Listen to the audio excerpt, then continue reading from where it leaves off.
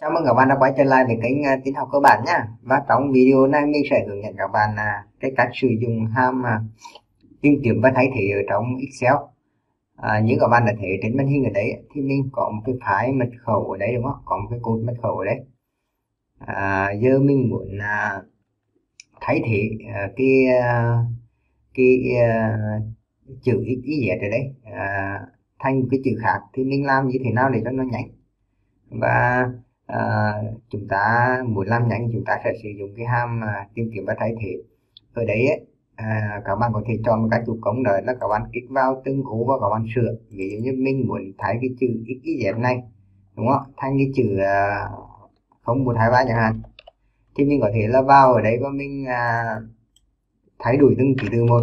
Nhưng mà làm như thế này thì rất lâu đối với những cái à, trường hợp mà có đến à, hàng nghìn à, ham như, như thế này thì các bạn làm mỏi đấy đó. Các bạn sẽ sử dụng cái ham à, tìm kiếm vào đấy thì thì cái phím tắt để à, để sử dụng cái ham này chính là cái chốt đẹp.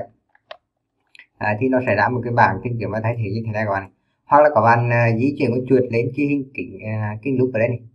À, các bạn tích vào thì các bạn cũng có thể là tìm thấy cái ham tìm và thay thế đúng không?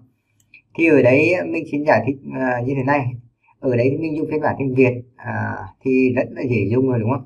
Đấy là từng tìm bên tim này ấy, thì sẽ giúp các bạn tìm một cái ký từ hoặc là một cái chuỗi ký từ nào đấy theo ý của các bạn. À, còn biến thay thế ở đấy thì các bạn tìm và các bạn thay thế bằng cái bằng cái chuỗi ký từ mà các bạn muốn. Ví dụ như bây giờ mình à, à, sẽ thấy tìm và thay thế cái chữ à, à, z chữ dễ y z này. À, mình sẽ thay thế bằng 0123 thì ở đây sẽ có mấy sự lựa chọn là thay thế tất cả này thay thế tìm tất cả tìm tiếp đóng thì ở đây mình uh, do mình là muốn thay thế toàn bộ uh, uh, từ cái, cái cột C3 này cho đến cái cột uh, C12 này cho nên là mình sẽ chọn thay thế tất cả à, thì ờ, các bạn thấy là trong một chốc lát Excel đã à, làm cho chúng ta là à, đã thay thì xong. Và à, Excel vừa thực hiện 10 cái sự thay thế đúng không?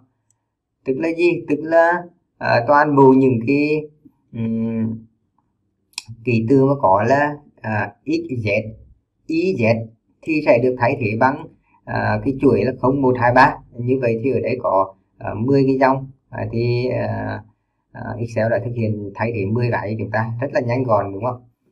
Đấy. ngoài ra thì các bạn cũng có thể là à, mình sẽ kén dệt lại cho bạn. Mình sẽ kén dệt lại đúng không? Mình sẽ kén dệt lại và bây giờ mình à, thực hiện lại các bạn. Cái dệt à, các bạn có thể là à, bấm vào thay thế đấy.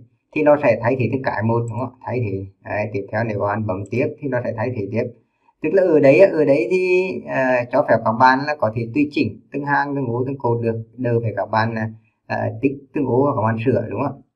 Hoặc là tìm tất cả uh, tìm tất cả thì ở đấy Excel sẽ liệt kê cho các bạn đây những cái cái nào mà có cái chữ uh, Z Y Z đúng không? Ạ thì thông qua việc mà sử dụng một cái chức năng rất đơn giản là tìm kiếm và thay thế thì sẽ giúp các bạn là à, giải quyết được cái vấn đề một cách nhanh gọn. Và mình hy vọng là cái video này có ích đối với tất cả các bạn. Và à, nếu như có vấn đề gì thắc mắc ấy, thì các bạn hãy comment vào dưới video. Mình sẽ giải đáp cho các bạn một cách nhanh nhất. Và bây giờ thì mình xin chào và hẹn gặp lại các bạn.